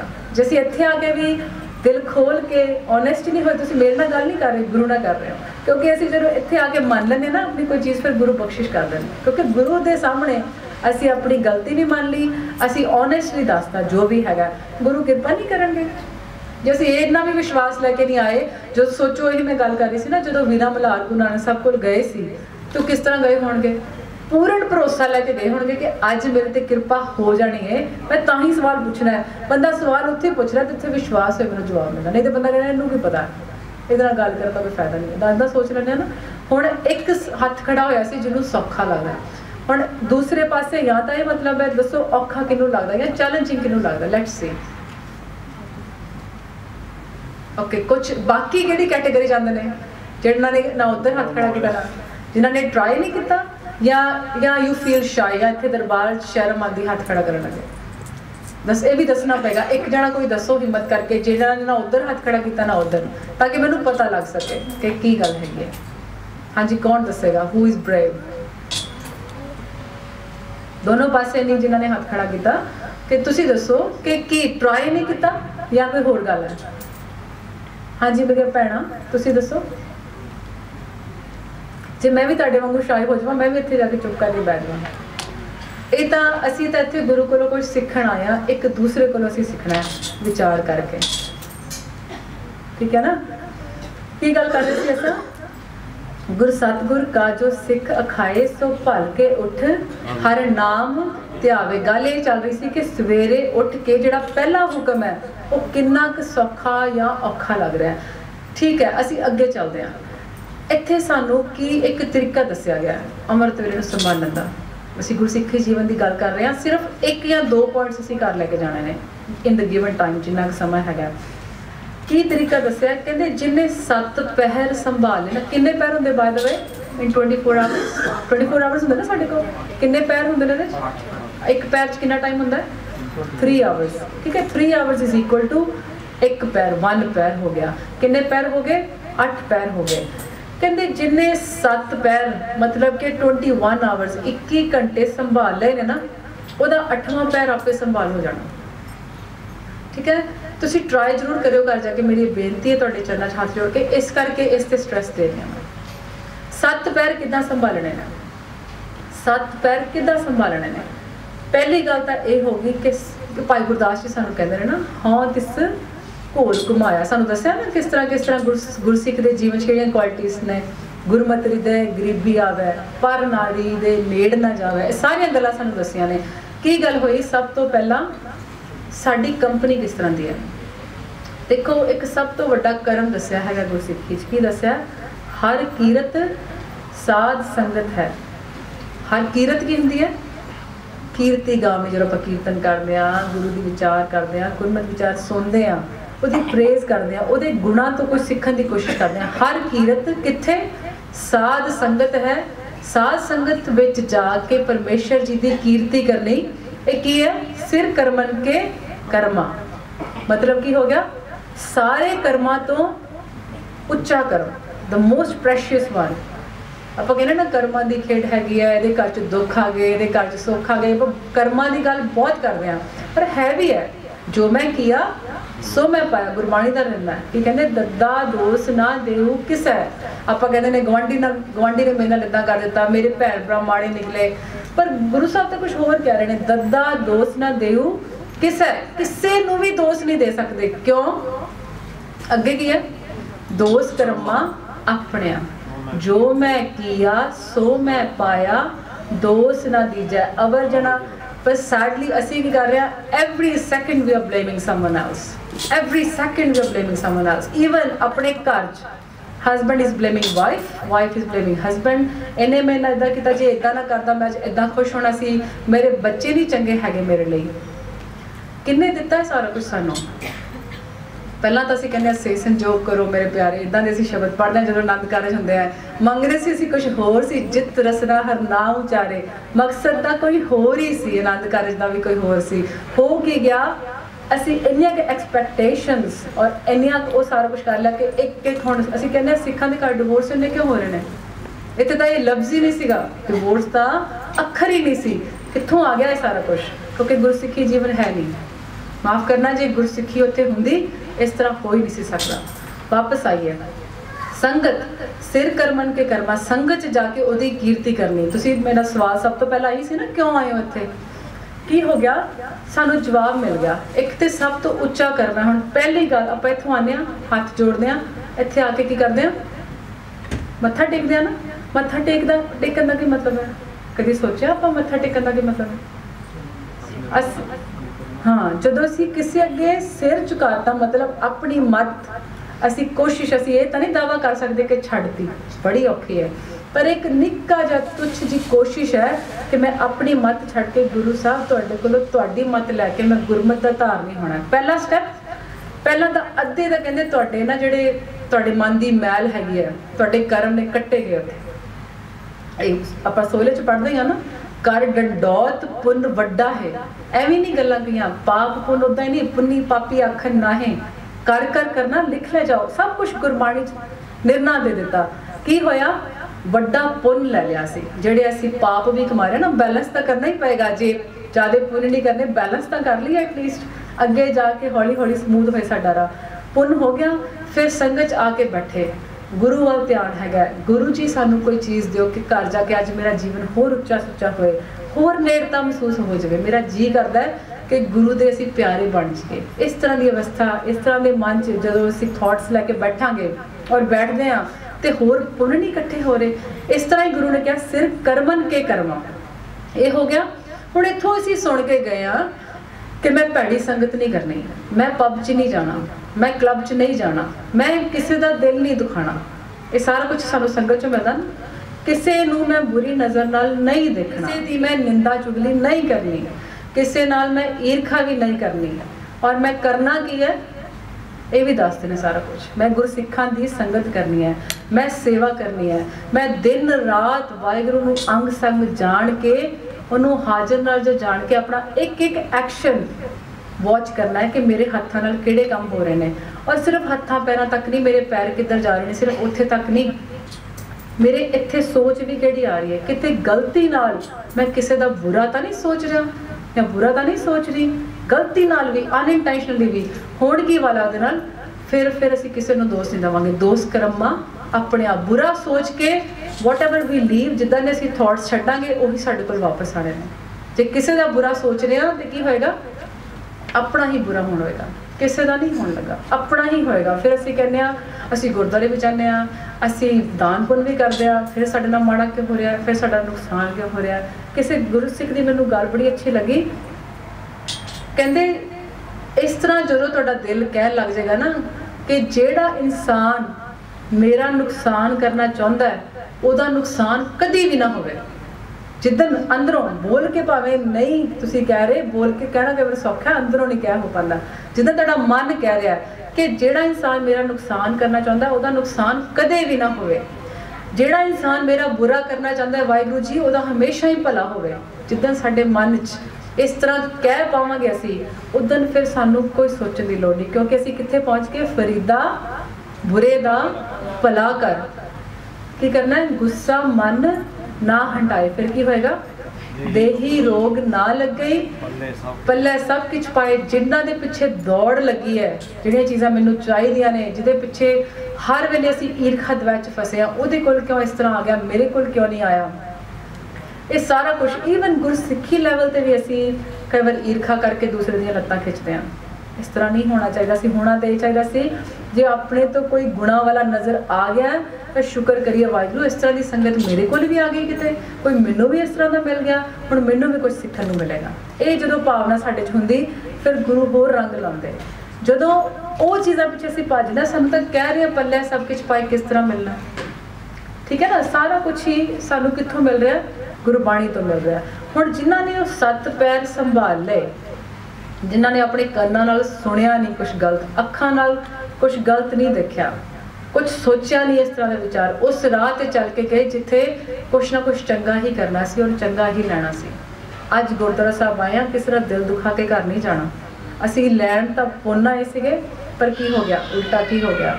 ਕਿਸੇ ਦਾ ਇੰਨਾ ਦਿਲ ਦੁਖਾਇਆ ਅਣਜਾਣੇ ਵੀ ਕੀ, ਜਾਣ ਕੇ ਵੀ ਦਿਖਾ ਦਿੱਤਾ। ਕਿਸੇ ਨੂੰ ਇਸ ਤਰ੍ਹਾਂ ਦੇ ਬੋਲ ਬੋਲ ਦਿੱਤੇ, ਕਿਸੇ ਨੂੰ ਕੋਈ ਇਸ ਤਰ੍ਹਾਂ ਦੀ ਗੱਲ ਕਹਿ ਦਿੱਤੀ। ਪਤਾ ਨਹੀਂ ਕੋਈ ਕਿਸ ਤਰ੍ਹਾਂ ਜੁੜ ਕੇ ਬੈਠਾ ਹੈ। ਹੁਣੇ ਤਾਂ ਅਸੀਂ ਸੁਣਿਆ ਹੁਣੇ ਦੱਸ ਕੇ ਗਏ ਨੇ ਕਿ ਉਹ ਗੁਰੂ ਸਾਹਿਬ ਨੂੰ ਕੀ ਕਹਿ ਰਹੇ ਸੀ? ਤੂੰ ਭੁੱਲਣਹਾਰ ਮੈਂ ਬਖਸ਼ਣਹਾਰ ਇੰਨੀ ਪਿਆਰੀ ਗੱਲ ਲੱਗੀ ਉਹਨਾਂ ਦੀ, ਮੈਨੂੰ ਸੁਣ ਕੇ। ਤੁਸੀਂ ਸੁਣਿਆ ਹੋਵੇਗਾ ਜਿਹੜੇ ਇੱਥੇ ਬੈਠੇ ਹੋਣਗੇ, ਕਹਿ ਰਹੇ ਸੀ ਵੀ ਗੁਰੂ ਗੋਬਿੰਦ ਸਿੰਘ ਦੇ ਦਰਬਾਰ 'ਚ ਆ ਕੇ ਕਹਿ ਰਹੇ ਨੇ, ਤੁਸੀਂ ਭੁੱਲਣਹਾਰ ਮੈਂ ਬਖਸ਼ਣਹਾਰ ਹੁਣ ਕੋਈ ਸੁਣਨ ਵਾਲਾ ਕਹੇਗਾ, ਹਾਂ ਹਾਂ, ਇਹ ਕੀ ਬੋਲ ਰਿਹਾ? ਤੇ ਜਦੋਂ ਉਹਨਾਂ ਨੂੰ ਡਾਂਟਿਆ ਦੂਸਰਿਆਂ ਨੇ ਜਿਹੜੇ ਸਾਡੇ ਚ ਤਰਕ ਵਾਲੇ ਹੁੰਦੇ ਨੇ ਨਾ, ਨਹੀਂ ਸਮਝ ਪਾਉਂਦੇ, ਉਹ ਸਿਰਫ ਬੋਲਾਂ ਤੇ ਜਾਂਦੇ ਨੇ। ਉਹਨੇ ਕਿਹਾ, ਕੀ ਬੋਲ ਰਿਹਾ ਮਾਈ ਤੂੰ? ਤੇ ਗੁਰੂ ਸਾਹਿਬ ਨੇ ਕੀ ਕਿਹਾ? ਉਹ ਫਿਰ ਬੋਲਣ ਲੱਗ ਗਈ ਕਿ ਹਾਂ, ਮੈਂ ਸ਼ਾਰਟ ਫਾਰਮ ਤੁਹਾਨੂੰ ਦੱਸ ਰਿਹਾ ਕਿ ਗੁਰੂ ਸਾਹਿਬ ਕੋ ਬਖਸ਼ਣਹਾਰ ਮੈਂ ਭੁੱਲਣਹਾਰ ਪਹਿਲਾਂ ਉਲਟਾ ਬੋਲ ਰਹੀ ਕਿ ਇੱਕ ਇੱਕ ਦਿਨ ਇੱਕ ਇੱਕ ਸਟੈਪ ਇੱਕ ਹੋਰ ਸਟੈਪ ਮਿਲ ਰਿਹਾ ਜਿਹਦੇ ਨਾਲ ਅਸੀਂ ਗੁਰਸਿੱਖੀ ਜੀਵਨ ਤੇ ਤੁਰ ਪਾ ਰਹੇ ਹਾਂ। ਮੇਰਾ ਸਮਾਂ ਸਮਾਪਤ ਹੈਗਾ। ਮੈਂ ਅੱਗੇ ਨਹੀਂ ਜਾ ਸਕਦੀ, ਕਿਉਂਕਿ ਇਹ ਇਹ ਜਿਹੜਾ ਸਬਜੈਕਟ ਹੈਗਾ ਬਹੁਤ ਜ਼ਿਆਦਾ ਬਹੁਤ ਬਿਗ ਕਹ ਲਓ ਇਟਸ ਅ ਮੈਸਿਵ ਸਬਜੈਕਟ ਗੁਰੂ ਕਿਰਪਾ ਕਰਨ ਫਿਰ ਕਿਤੇ ਸੰਗਤ ਹੋਏਗੀ, ਆਪਾਂ ਇਸ ਚੀਜ਼ ਨੂੰ ਕੰਟੀਨਿਊ ਕਰ ਸਕਦੇ ਹੈਗੇ ਆ ਪਰ ਇੰਨੀ ਕੁ ਮੇਰੀ ਅਰਜ਼ੋਈ ਤੁਹਾਡੇ ਅੱਗੇ ਬੇਨਤੀ ਕਿ ਅੱਜ ਤੁਸੀਂ ਘਰ ਜਦੋਂ ਜਾਣਾ ਹੈ, ਇੱਕ ਚੀਜ਼ ਨਾਲ ਲੈ ਕੇ ਜਾਣੀ ਹੈ। ਆਮ ਸ਼ੋਰ ਤੁਸੀਂ ਬਹੁਤ ਕੁਝ ਲਿਆ ਹੋਵੇਗਾ ਪਰ ਇਸ ਸੈਸ਼ਨ ਤੋਂ ਇੱਕ ਚੀਜ਼ ਜ਼ਰੂਰ ਲੈ ਕੇ ਜਾਣੀ ਸਾਨੂੰ ਲੱਗੇਗਾ ਕਿ ਜੇ ਅਸੀਂ ਇੱਥੇ ਆਏ ਤਾਂ ਆਇਆ ਸਫਲਾ ਹੈਗਾ ਤੁਸੀਂ ਆਪ ਵੀ ਦੱਸ ਸਕਦੇ ਹੋ ਕੀ ਲੈ ਕੇ ਜਾਣਾ, ਨਹੀਂ ਤੇ ਫਿਰ ਮੈਂ ਤੁਹਾਨੂੰ ਦੱਸ ਸਕਦੀ ਹਾਂ। ਜੇ ਤੁਸੀਂ ਆਪ ਦੱਸ ਦਿਓ ਤੇ ਕਿਉਂਕਿ ਵਿੱਚ ਸੰਗਤ ਹਰ ਪ੍ਰਭ ਵਸੇ ਜੀਓ? ਜਦੋਂ ਸੰਗਤ ਚੋਂ ਕੋਈ ਹੋਮਵਰਕ ਮਿਲਦਾ ਹੁੰਦਾ ਨਾ, ਉਹ ਬੜਾ ਫਿਰ ਅੱਛੇ ਤਰੀਕੇ ਨਾਲ ਨਿਭਾਇਆ ਜਾਂਦਾ, ਬੜਾ ਪ੍ਰਫੁੱਲਤ ਹੁੰਦਾ। ਇਹ ਇਹ ਐਕਸਪੀਰੀਅੰਸ ਹੈਗਾ ਮੇਰਾ, ਜਿਸ ਤਰ੍ਹਾਂ ਮੈਂ ਦੇਖਿਆ ਹੈਗਾ। ਤੁਸੀਂ ਦੱਸ ਸਕਦੇ ਹੋ ਕਿ ਆਹ ਚੀਜ਼ ਮੈਨੂੰ ਇੱਕ ਲੱਗੀ ਜਿਹੜੀ ਮੈਂ ਨਹੀਂ ਕੀਤੀ ਸੀ, ਇਹ ਮੈਂ ਕਰਨੀ ਹੈ। ਸੱਤ ਪੈਰ ਸੰਭਾਲਣੇ ਨੇ। ਉਹ ਤਾਂ ਮੈਂ ਤੁਹਾਨੂੰ ਦੱਸ ਰਿਹਾ ਸੀ ਸਮਰਾਈਜ਼ ਕੀ ਕੀਤਾ। ਚੰਗੇ ਕੰਮ ਕਰਕੇ ਔਰ ਨਾਮ ਜਪ ਕੇ, ਫਿਰ ਕੀ ਹੋਏਗਾ? ਅੱਠਵਾਂ ਪੈਰ ਜਿਹੜਾ ਹੋਏਗਾ ਨਾ, ਅੰਮ੍ਰਿਤ ਵੇਲਾ। ਉਦੋਂ ਸਾਡਾ ਮਨ ਪਿਓਰਟੀ ਚ ਹੋਏਗਾ, ਮਨ ਸਾਫ਼ ਹੋਏਗਾ, ਕਿਉਂਕਿ ਅਸੀਂ ਸਾਰਾ ਦਿਨ ਗੁਰੂ ਨੂੰ ਅੰਗ ਸੰਗ ਰੱਖ ਕੇ ਇੱਕ ਇੱਕ ਕਰਨ ਨੂੰ ਵਾਚਿਆ ਹੈ ਇੱਕ ਇੱਕ ਇੱਕ ਕਰਮ ਨੂੰ ਧਿਆਨ ਨਾਲ ਕੀਤਾ ਹੈਗਾ। ਫਿਰ ਕੀ ਹੋਏਗਾ, ਉਹ 8th ਪੈਰ ਜਿਹੜਾ ਅੰਮ੍ਰਿਤ ਵੇਲਾ ਹੈ, ਉਸ ਵੇਲੇ ਸਾਨੂੰ ਸਟਰਗਲ ਕਰਨ ਦੀ ਲੋੜ ਨਹੀਂ ਪੈਗੀ। ਉਦੋਂ ਇਦਾਂ ਲੱਗੇਗਾ ਕਿ ਨਾਨਕ ਸਾਹਿਬ ਹਾਜ਼ਰ ਨਾਜ਼ਰ ਨੇ। ਮੈਂ ਗੁਰੂ ਗੁਰੂ ਕਰ ਰਿਹਾ, ਔਰ ਗੁਰੂ ਹੀ ਗੁਰੂ ਹੀ ਮੇਰੀ ਗੱਲ ਸੁਣ ਰਹੇ ਨੇ। ਪਰ ਇਸ ਤਰ੍ਹਾਂ ਹੋਏਗਾ ਫਿਰ। ਪਰ ਉਹਦੇ ਲਈ ਕੀ ਕਰਨਾ ਪਏਗਾ? ਸੱਤਾ ਪੈਰਾਂ 'ਚ ਸਾਨੂੰ ਸੰਭਾਲਣਾ ਪਏਗਾ ਕਿ ਕੀ ਮੈਂ ਬੋਲ ਰਿਹਾ, ਕਿੱਧਰ ਚੱਲ ਕੇ ਜਾ ਰਿਹਾ। ਸਿਰਫ ਨਾਮ ਜਪਣਾ ਕੱਲਾ ਔਰ ਨਾਲ ਨਾਲ ਆਪਣੇ ਕਰਮ ਨਹੀਂ ਵਾਚ ਕਰਨੇ it's not going to help ਦੋਨੋਂ ਚੀਜ਼ਾਂ ਨਾਲ ਚੱਲਣਗੀਆਂ। ਸੰਗਤ ਕਿਸ ਤਰ੍ਹਾਂ ਦੀ ਹੈਗੀ ਹੈ, ਕਿਸ ਤਰ੍ਹਾਂ ਦੇ ਅਸੀਂ ਕੰਮ ਕਰ ਰਹੇ ਹਾਂ, ਕਿਸ ਤਰ੍ਹਾਂ ਦਾ ਅਸੀਂ ਖਾ ਰਹੇ ਹਾਂ, ਕਿਸ ਤਰ੍ਹਾਂ ਦਾ ਅਸੀਂ ਪਾ ਰਹੇ ਹਾਂ, ਕਿਸ ਤਰ੍ਹਾਂ ਅਸੀਂ ਦੇਖ ਰਹੇ ਹਾਂ। ਹੁਣ ਤੁਸੀਂ ਦੱਸੋ, ਇੱਕ ਚੀਜ਼ ਕਿਹੜੀ ਲੈ ਕੇ ਜਾਓਗੇ? ਜੇ ਫਿਰ ਮੈਂ ਦੱਸੂਗੀ, ਤੁਸੀਂ ਦੱਸ ਦਿਓ ਆਪੇ ਹੀ। ਇਹ ਚੀਜ਼ ਮੈਂ ਟਰਾਈ ਕਰਨੀ ਘਰ ਜਾ ਕੇ। ਤਾਂ ਕਿ ਲੱਗੇ ਕਿ ਹਾਂ, ਮੈਂ ਕੁਝ ਨਵਾਂ ਲੈ ਕੇ ਆਣਾ ਅੱਜ। ਕੁਝ ਕੁਝ ਘਰ ਮੈਂ ਨਾਲ ਇੱਕ ਗੁਰੂ ਸਾਹਿਬ ਨੇ ਅੱਜ ਮੈਨੂੰ ਪ੍ਰੈਜ਼ੈਂਟ ਦਿੱਤਾ, ਉਹ ਮੈਂ ਆਪਣੇ ਜੀਵਨ ਚ ਅਪਣਾਉਣਾ ਹੁਣ। ਫਿਰ ਮੇਰੇ, ਮੇਰੀ ਕਹ ਲਓ ਦੁਨੀਆ 'ਚ, ਮੇਰੇ ਜੀਵਨ 'ਚ ਇੱਕ ਖੇੜਾ, ਇੱਕ ਨਵਾਂ ਨਵਾਂ ਰੰਗ ਆਏਗਾ। ਮੇਰੇ ਜੀਵਨ 'ਚ ਖੁਸ਼ੀਆਂ ਆਉਣ ਵਾਲੀਆਂ ਨੇ। ਮੇਰਾ ਪਰਿਵਾਰ ਹੋਰ ਚੜ੍ਹਦੀ ਕਲਾ 'ਚ ਜਾਏਗਾ। ਤੁਸੀਂ ਦੱਸੋ, ਇਸ ਤਰ੍ਹਾਂ ਦੀ ਕੋਈ ਚੀਜ਼ ਤੁਸੀਂ ਆਪ ਲੈ ਕੇ ਜਾਣਾ ਚਾਹੁੰਦੇ ਹੋ? ਔਰ ਜਿਹੜਾ ਵੀ ਕੋਈ ਚੀਜ਼ ਦੱਸੇਗਾ, ਉਹ ਹੀ ਸਾਰੀ ਸੰਗਤ ਸ਼ੇਅਰ ਕਰੇਗੀ। ਤੁਸੀਂ ਦੱਸੋ ਕੋਈ ਕੋਈ ਇਸ ਤਰ੍ਹਾਂ ਦਾ ਵਿਚਾਰ ਮਨ 'ਚ ਕਿਸੇ ਦੇ? ਹਾਂਜੀ। ਹੱਥ ਪੈਰ ਸੰਭਾਲਣ ਦੀ ਕੋਸ਼ਿਸ਼। ਬਹੁਤ ਸੋਹਣੀ ਗੱਲ ਤੁਸੀਂ ਦੱਸੀ। ਸੱਤ ਪੈਰ ਇਹਨਾਂ ਨੇ ਕੀ ਕਿਹਾ? ਸੰਭਾਲਣ ਦੀ ਕੋਸ਼ਿਸ਼। ਹੁਣ ਫਟਾਫਟ few seconds 'ਚ ਦੱਸ ਦਿਓ ਕੀ ਕਰੋਗੇ ਤੁਸੀਂ ਉਹਦੇ ਲਈ? ਇਹ ਹੁਣ ਸਾਰਿਆਂ ਨੂੰ ਹੋਮਵਰਕ ਹੋ ਗਿਆ ਕਿਉਂਕਿ ਇਹ ਭਾਈ ਸਾਹਿਬ ਨਹੀਂ ਬੋਲ ਰਹੇ। ਇਹ ਹੁਣ ਆ ਗਿਆ। ਠੀਕ ਹੈ ਨਾ? ਇਹ ਹੁਣ ਗੁਰੂ ਸਾਹਿਬ ਵੱਲੋਂ ਆ ਗਿਆ। ਇਦਾਂ ਤੁਸੀਂ ਇਸ ਤਰ੍ਹਾਂ ਲੈ ਕੇ ਚੱਲਣਾ ਇਸ ਚੀਜ਼ ਨੂੰ। ਧਿਆਨ ਨਾਲ ਸੁਣੋ ਕੀ ਕਹਿ ਰਹੇ ਨੇ। ਸੱਤ ਪੈਰ ਸੰਭਾਲਣ ਦੀ ਕੋਸ਼ਿਸ਼ ਕਿਸ ਤਰੀਕੇ ਨਾਲ? ਚੰਗੇ ਬੰਦਿਆਂ ਦੀ ਸੰਗਤ। ਉਦਮ ਕਰਨੀ ਹਾਂਜੀ। ਚੰਗੇ ਬੰਦਿਆਂ ਦੀ ਸੰਗਤ ਕਰਨੀ। ਚੰਗੇ ਬੰਦਿਆਂ ਦੀ ਸੰਗਤ ਕਰਨੀ ਠੀਕ ਹੈ। ਹੋਰ ਹੋਰ ਕੋਈ ਵੀ ਐਡ ਕਰ ਸਕਦਾ ਇਹਦੇ ਵਿੱਚ ਹਾਂਜੀ। ਗੁਰੂ ਨੂੰ ਹਮੇਸ਼ਾ ਅੰਗ ਸੰਗ ਰੱਖਣਾ। ਕਿਸ ਤਰ੍ਹਾਂ ਰੱਖੋਗੇ? ਜਿਹੜੇ ਵੀ ਕੰਮ ਕਰ ਗੁਰੂ ਸਾਡੇ ਨਾਲ ਨਾਲ ਸਾਨੂੰ ਵਾਚ ਕਰ ਰਿਹਾ ਐਦਾਂ ਦੀ ਸੋਚ ਲਿਆਣੀ ਹਾਂ, ਬੜੀ ਪਿਆਰੀ ਚੀਜ਼ ਹੈ। ਜੇ ਕਿਤੇ ਹੋ ਜਾਵੇ ਨਾ, ਪ੍ਰਾਪਤੀ ਤਾਂ ਇਹੀ ਹੈ ਆਨੰਦ ਦੀ। ਜਿੱਦਾਂ ਸਾਨੂੰ ਫੀਲ ਹੋਣ ਲੱਗ ਜਾਏਗਾ ਨਾ, ਕਹਿੰਦੇ ਨਾ ਆਪਾਂ ਸੱਚ ਨੂੰ ਪ੍ਰਾਪਤ ਕਰਨਾ ਹੈ। ਸੱਚ ਕੀ ਹੈਗਾ? ਸੱਚ ਤਾਂ ਹੀ ਹੈ ਜੋ ਗੁਰੂ ਇੱਥੇ ਹੀ ਹੈ। ਜਿਹੜੀ ਚੀਜ਼ ਐਗਜ਼ਿਸਟ ਕਰਦੀ ਨਾ, ਅਸੀਂ ਉਹਨੂੰ ਸੱਚ ਕਹਿੰਦੇ ਆ ਨਾ, ਕਿ ਹਾਂ, ਇਹ ਹੋਂਦ ਚ ਹੈ। ਹੋਂਦ ਨੂੰ ਐਗਜ਼ਿਸਟੈਂਸ ਨੂੰ ਅਸੀਂ ਸੱਚ ਕਹਿੰਦੇ ਆ ਇਹ ਕਹਿਣਾ ਬਹੁਤ ਸੌਖਾ ਗੋਡ ਇਜ਼ ਐਵਰੀਵੇਅਰ ਇਸ ਚੀਜ਼ ਨੂੰ ਫੀਲ ਕਰਨਾ, ਬੜੀ ਪਿਆਰੀ ਸਾਖੀ ਹੈ ਪਰ ਨੈਕਸਟ ਟਾਈਮ ਲਈ। ਇਸ ਚੀਜ਼ ਨੂੰ ਫੀਲ ਕਰਨਾ ਕਿ ਗੁਰੂ ਸਾਹਿਬ ਮੇਰੇ ਕੋਲ ਨੇ। ਮੈਂ ਕਿਸੇ ਦਾ ਬੁਰਾ ਨਹੀਂ ਕਰ ਸਕਦਾ। ਕਿਉਂ? ਗੁਰੂ ਸਾਹਿਬ ਦੇਖ ਰਹੇ ਨੇ। ਗੁਰੂ ਸਾਹਿਬ ਨੇ ਵੀ ਪਤਾ ਹੈ ਵਾਟ ਆਮ ਥਿੰਕਿੰਗ ਮੈਂ ਕੀ ਸੋਚ ਰਹੀ ਹਾਂ। ਹਾਜ਼ਰ ਨਾਜ਼ਰ ਜਾਣ ਕੇ ਜਦੋਂ ਅਸੀਂ ਆਪਣਾ ਜੀਵਨ ਬਿਤਾਵਾਂਗੇ ਨਾ ਫਿਰ ਫਿਰ ਬੜਾ ਖੇੜਾ ਖੇੜਾ ਫਿਰ ਬੰਦਾ ਕਹਿੰਦਾ ਨਾ ਡਰੱਗਸ ਲੈਂਦੇ ਨੇ ਉੱਡਣ ਲਈ। ਤੇ ਫਿਰ ਇਦਾਂ ਹੀ ਉੱਡਿਆ ਜਾਂਦਾ। ਫਿਰ ਕਿਸੇ ਨਸ਼ੇ ਦੀ ਲੋੜ ਨਹੀਂ ਹੈਗੀ। ਕਿਸੇ ਗੌਸਿਪ ਦੀ ਲੋੜ ਨਹੀਂ ਹੈਗੀ। ਠੀਕ ਹੈ? ਹੋਰ ਕੋਈ ਵਿਚਾਰ? ਬਿਫੋਰ ਵੀ ਫਿਨਿਸ਼ ਠੀਕ ਹੈ, ਇਸ ਚੀਜ਼ ਹਾਂਜੀ ਬੇਟੀ ਹਾਂਜੀ? ਅੰਮ੍ਰਿਤ ਵੇਲਾ ਠੀਕ ਹੈ। ਇਸ ਚੀਜ਼ ਨੂੰ ਤੁਸੀਂ ਕਰਕੇ ਦੇਖਿਓ ਤੇ ਇੱਕ ਦੂਸਰੇ ਦੇ ਨਾਲ ਜਦੋਂ ਤੁਸੀਂ ਸੰਗਤ ਚ ਆਉਂਦੇ ਹੋ, ਕਿਉਂਕਿ ਸੰਗਤ ਦੇ ਵਿੱਚ ਇਹੀ ਅਸੀਂ ਗੁਣੀ ਸਿੱਖਣ ਆਉਂਦੇ ਹਾਂ। ਸਾਂਝ ਕਰੀਜਾ ਗੁਣੇ ਕੇਰੀ ਛੋੜ ਅਵਗੁਣ ਚਲੇ ਤੁਸੀਂ ਇੱਕ ਦੂਸਰੇ ਨਾਲ ਵਿਚਾਰ ਕਰਿਓ ਕਿ ਕਿਸ ਤਰ੍ਹਾਂ ਪ੍ਰੋਗਰੈਸ ਹੋ ਰਿਹਾ। ਤੇ ਗੁਰੂ ਮਹਾਰਾਜ ਕਿਰਪਾ ਕਰਨ। ਜੇ ਕੋਈ ਕਹਿੰਦੇ ਆ ਕਿਸੇ ਦਾ ਕੋਈ ਦਿਲ ਦੁੱਖ ਗਿਆ ਜਾਂ ਕੋਈ ਗਲਤ ਗੱਲ ਕਹਿ ਗਈ ਹੋਈ, ਤੁਸੀਂ ਮਾਫ ਕਰਨਾ ਔਰ ਅਸੀਂ ਇਸ ਬਖਸ਼ਣਾ ਇਸ ਤਰ੍ਹਾਂ ਦਾ ਜੀਵਨ ਸਾਡਾ ਵੀ ਬਣ ਸਕੇ ਜੀ। ਭੁੱਲਾ ਚੁੱਕਾ ਦੀ ਮਾਫੀ ਜੀ। ਵਾਹਿਗੁਰੂ ਜੀ ਕਾ ਖਾਲਸਾ, ਵਾਹਿਗੁਰੂ ਜੀ ਕੀ ਫਤਿਹ।